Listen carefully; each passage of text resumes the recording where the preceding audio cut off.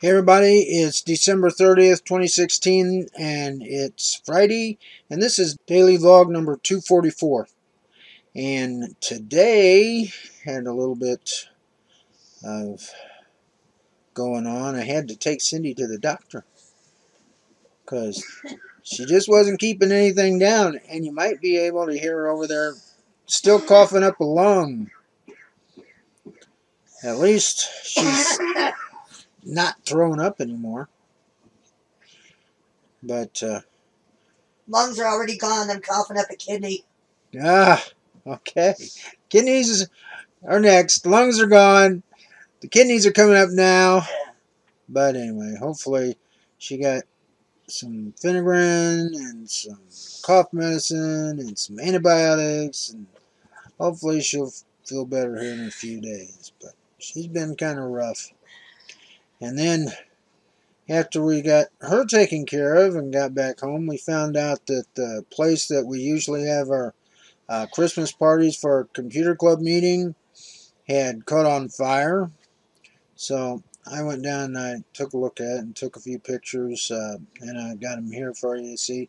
First picture is the front of the building. You really can't see a whole lot uh, of damage. Uh, really there's no damage. You can just see the windows are all black and there's another picture kind of uh, backed up a little bit. And the next picture here is of the uh, corner uh, front corner there. You can see uh, some fire damage and then when we go around to the end of the building there that's where the fire really took place uh, where all that's burnt there. Uh, you can see couple of pictures there. I don't know what started the fire. Haven't uh, found out any information about that, so I don't know how the fire actually happened. But uh, hopefully they can rebuild and get it uh, reopened there, because it was a, a good place to eat. It was open when it caught fire, wasn't it? Yeah. Uh, yeah, it, it uh, Probably was, yeah, because it was afternoon and uh, so like I said, hopefully they can get that fixed up and get it reopened there. So we'll keep a watch on that. and then I was going looking through articles and I found this article and I do not know what the heck they're thinking, but they're this article was about on January 1st, Missouri is passing a new law that is going to make fighting in school and uh, bullying in school a felony. So, okay, you've got these kids, they don't have very good emotional control to begin with. So, you know, there's going to be conflict and there's going to be fighting. So, what are you going to do? Are, are they going to prosecute these kids as adults and, and send them to prison? Okay. They say that for this offense, they can be in prison for up to four years. All right, so you say you got a freshman in high school. He gets into a fight. He goes, get convicted of a felony. He goes to prison for four years. Well, are they going to send teachers in there to teach him? Uh, what they're going to do.